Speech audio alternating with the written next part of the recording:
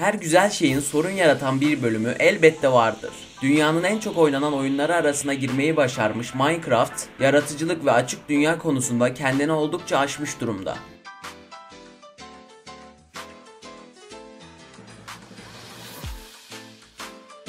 Hepimiz oyunu daha iyi öğrenmek adına ilk başlarda hayatta kalma moduyla başlarız. Ev yapmaya sıra geldiği zamansa sahip olduğumuz şeyler kısıtlı olduğu için hayalimizdeki evi yapmamız imkansız bir hal alır.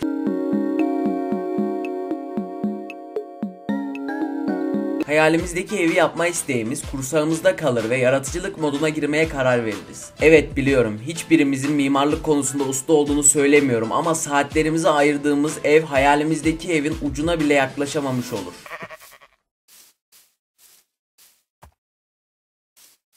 Bu yaşadığımız şey bir hüsrandır. Sinirimizi tavuk yaratıp öldürerek çıkarırız ve hayatta kalma moduna tekrar döneriz. Oyundaki eski günlerinizi düşünerek tekrar hayatta kalma moduna başlamaya karar verirsiniz. Böylece Minecraft'ın vahşi dünyasına uzun bir aradan sonra geri dönersiniz.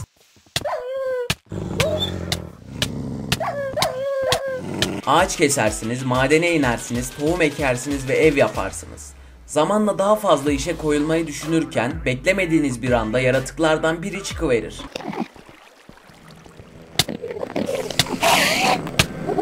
Minecraft her ne kadar korku temalı bir video oyunu olmasa da Enderman, Ghost ve Creeper gibi karakterlerin sesi ve görüntüsü beklenmedik bir anda karşımıza çıktığı anda bizleri oldukça heyecanlandırıp korkutmakta.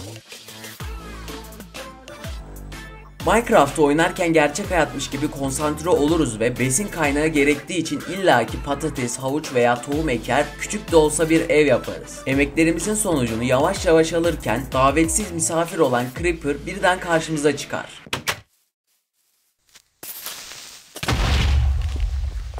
İçinde TNT barındıran bu yaratığın bize yakın olması demek, emeklerimizin, onlarca saatimizin hatta zorlayıcı modda oynuyorsak oyunumuzun bitmesi anlamına gelebilir. Bazen dikkatsizliğimiz sonucunda bazense birden fazla geldiği için yenilgiye uğradığımız bu karakter eminim ki en sevilmeyen oyun karakterleri arasında da yer almakta.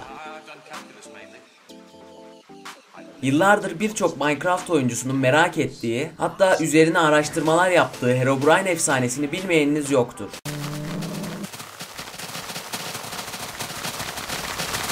Beyaz gözleriyle öne çıkan bu karakteri oyunu ilk defa oynadığımız yıllarda gerçekten görebileceğimizi düşünmekteydik. Bu gerçekten trajikomik. Herobrine'i görme ihtimalimizin 1 milyonda 1 olduğu söylense de kesin bir açıklama yapılmamıştır.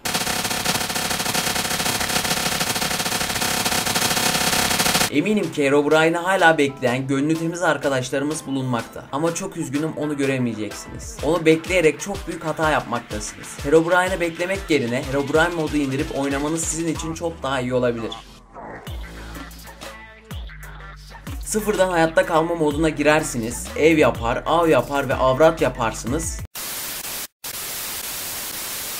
Oyunun o kadar akıcılığına kapılırsınız ki havanın karardığını bile fark etmezsiniz. Her ne kadar başınızı sokabilecek bir eviniz olsa da sağlam ekipmanlarınız olmadığı için uyumayı tercih edersiniz. Yatağınızın olmadığını fark edip yaratıklara yakalanmadan koyun avına çıkmaya karar verirsiniz.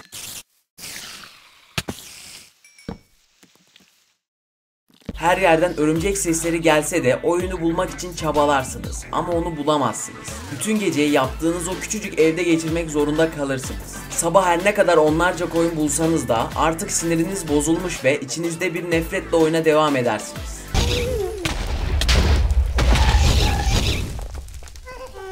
Gelecek videolarda ne görmek istersiniz? Yorum bölümünde belirtirseniz sevinirim.